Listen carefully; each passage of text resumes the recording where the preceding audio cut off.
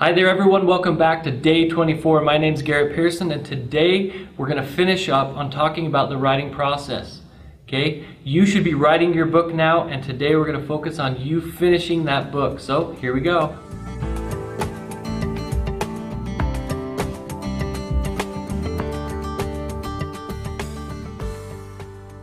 Hi there everyone, Garrett Pearson here, day 24. Welcome back. Okay, we've got six more days till the end of this 30 day free video series on how to write and finish your book.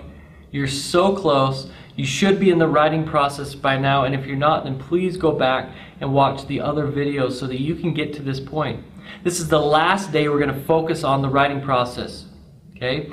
The next step is obviously finishing up your book and getting it ready to be published. Whether you're going traditional publishing, self publishing, ebook publishing, Kindle publishing, whatever you're going to do, there's a couple steps that we're going to be talking about these last six days to get your book published and to the market. But today, we're going to talk about finishing up your writing process and sticking it out to the end.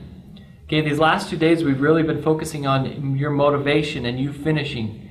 You've already started, hopefully by now, and if you haven't, then you need to go back through and watch all the videos and follow these steps from the last 23 days. But by this time, you should be writing. And now you need to just evaluate where you are. Evaluate your plan from the earlier days of this free video series. Remember, we talked about creating a plan. So, where are you at in your plan? Okay, go back and re-evaluate where you're at. Evaluate how well you're you're organizing your time.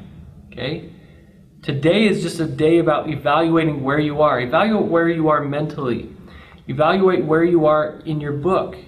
Okay, how close are you to the end? If you're three fourths of the way there, then just stick it out and get it finished.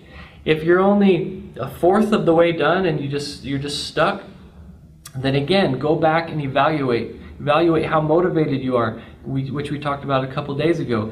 Evaluate yourself evaluate what you've written so far and get remotivated. Okay? So go back, evaluate your plan, evaluate the organization of your time because more than likely, likely you've run into some roadblocks.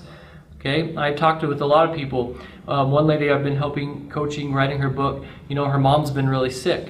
Okay? And it's become a very big roadblock because she's been going back and forth with her and her mother on helping her because she's sick. Okay? There's something that you've probably likely come across, and that's okay. You might have to extend your plan to your finish date. You might have to extend it a little bit. But the bottom line is you need to finish that book or it's just not going to happen. You need to keep going, evaluate everything you've done, and I'm here for you. Okay? I believe in you. And over the next and last six days of this free video series, we're going to be talking about you publishing your book and all the steps involved to get your book published, no matter what kind of way you publish it. So your book needs to be done and ready for this. That doesn't mean when you're watching this that your book's going to be done, and I understand that.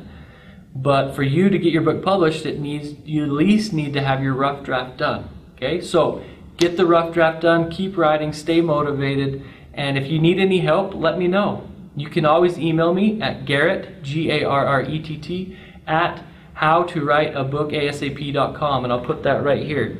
Garrett at howtowriteabookasap.com. Send me an email, and I'll help you through this if you're stuck. Okay? So thanks for watching today. Tomorrow we're going to start on the getting ready for your book to be published. Okay? So see you tomorrow.